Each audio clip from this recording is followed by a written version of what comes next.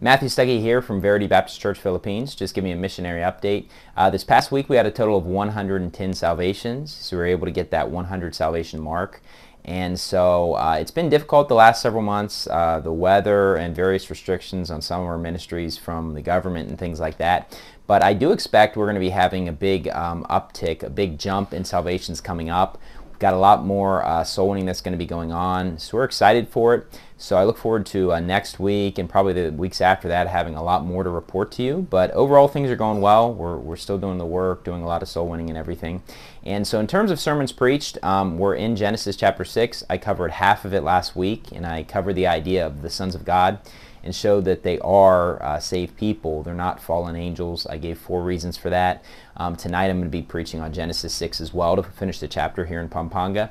And then on uh, the weekend services, I gave you I gave four reasons, uh, four excuses people make for their sins, and I used the story in 1 Samuel 13 where Samuel rebukes Saul, and the Bible outlines itself in a couple verses where he makes an excuse of the followers. He makes an excuse of, of Samuel not coming in the time appointed.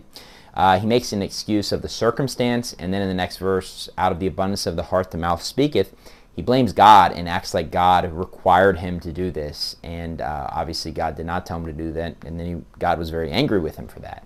So uh, you can check out that sermon if you want. I gave four reasons that are listed there, and then also we're still in Psalm 27, so I preached on uh, waiting upon the Lord. So what we're doing is a Bible memorization challenge as I'm preaching through the book of Psalms. We have uh, basically Psalm 23 through 41. And for each chapter, uh, people get uh, a snack or a candy prize if they memorize the entire chapter. So however many chapters they are able to memorize, um, you know, they're able to get a snack each week. And it's going great. Uh, our candy and our snacks are kind of uh, leaving. So a lot of people are memorizing the Bible and quoting it to people, which is great. Uh, we love to try to encourage uh, memorizing the Bible. Uh, we have a lot of upcoming activities coming up here. We're going to be doing a table tennis tournament, uh, chess tournament coming up. We got our two anniversaries in November, and uh, we got a lot of other stuff. And at the end of this month, we're having our first annual Kids Day. So if you're someone who is uh, within the vicinity and able to come, I'd encourage you on the final Saturday and final Sunday, um, if you're in Pampanga, to come to uh, Pampanga for the Kids Day, and on Sunday to come to Manila. And so I'll be preaching one sermon against the dark holidays. I'll be uh, preaching against voodoo this year.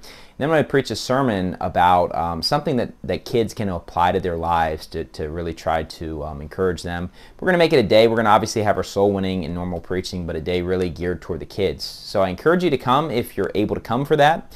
We'd love to have you. We know it's going to be a great time.